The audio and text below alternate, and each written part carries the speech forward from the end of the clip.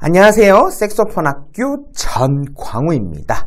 자, 먼저 여러분들께서 강의를 보시기 전에 구독하기 버튼과 좋아요 버튼 꼭 좀 눌러주시면 강의를 만드는 저에게 굉장히 큰 힘이 됩니다. 여러분들께서 어렵지 않으시기 때문에 구독하기 버튼 꼭 좀 눌러주시면 대단히 감사드리겠습니다. 자, 오늘의 강의는요. 피스를 조금 물고 불 때 주법의 조건 있어요.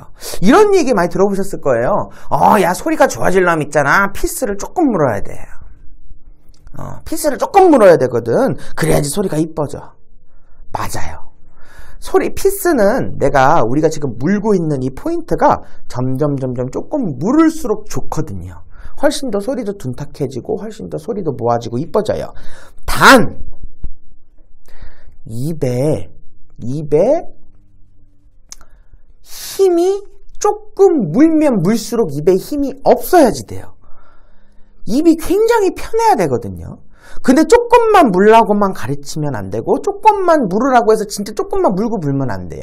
내가 지금 조금 물었 을 때 소리를 이쁘게 낼 수 있는 주법의 지금 상태인가를 먼저 내가 알아야 하는데 내가 조금 물 때 소리가 되게 원래 내던 것보다 답답하거나 아니면 내가 조금 물었을 때 계속 소리가 안 나거나 삑삑거리거나 리드가 피스랑 붙거나 이러한 증상이 있다 그러면 아직 내가 그렇게 조금 물어가지고 소리를 낼 단계가 아니라는 거죠.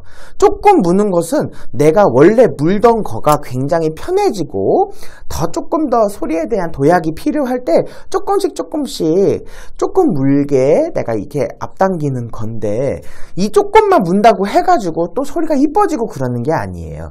그 조금 무는 만큼 또 입도 되게 모아져야지 되거든요. 그러면 그 모아지는 것은 내가 인위적으로 막 입을 이렇게 주법을 바꾸는 게 아니라 내가 내가 이제 소리, 호흡을 많이 쓰잖아요. 그 호흡이 나한테 맞는 주법을 가져다 주는 시간이 필요합니다. 근데 어떤 주법을 이렇게 해야 돼요? 뭘 해야 돼요? 뭐 인위적으로 막 이렇게 해야 돼요? 뭐 해야 돼요? 절대 아마추어 분들한테는 쥐약이에요. 음. 절대 그렇지 않습니다. 그래서 그렇게 연주를 했었을 때는 굉장히 내가 편해야지 돼요. 그렇게 주법이 됐었을 때는 내가 되게 편한 상태일 때는 그렇게 하셔도 되겠지만 그렇지 않는 아마추어 분들한테는 절대적으로 하면 안 되는 것입니다. 그래서 지금 내가 조금 조금 물고 있다 그러면 조금 무는 거에 대한 입 상태가 아직 안 되어 있다면 지금 무는 것보다 조금 더 깊게 물으셔도 돼요. 그렇기 때문에 그래야지 소리 나는 것들이나 그런 것들에 대한 스트레스가 스트레스를 받지 않기 때문에 여러분들께서 지금 피스를 조금 물고 물었을 때 소리가 나는 주법의 조건이라면 조금 물으셔도 되지만 그렇지 않다면 지금 원래 물던 것보다 조금 더 깊게 불고 편안하고 입에 힘 빼는 연습을 먼저 하시는 것이 우선순위라고 저는 생각을 하기 때문에 여러분들이 실력 향상이 되기 위해서 내가 지금보다 훨씬 더 색소폰을 잘하고 소리가 좋아지기 위해서는 이러한 것들의 연습이 필요해요. 그리고 이런 것들을 알아야 하고요.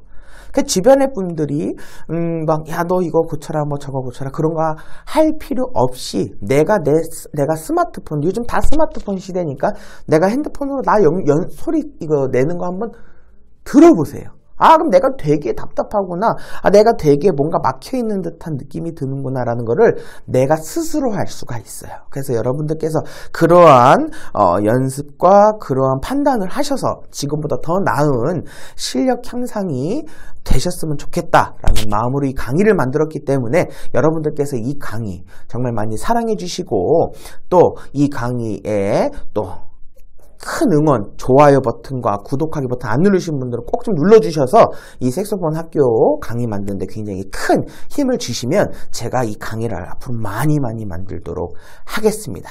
널리 널리 많은 분들과 공유해 주시고 여러분들이 실력 향상, 최고의 프로가 될 때까지 색소폰 학교의 강의는 멈추지 않겠습니다. 다음 강의에서 뵙도록, 뵙도록 하겠습니다. 지금까지 색소폰 학교 전광우였습니다. 감사합니다.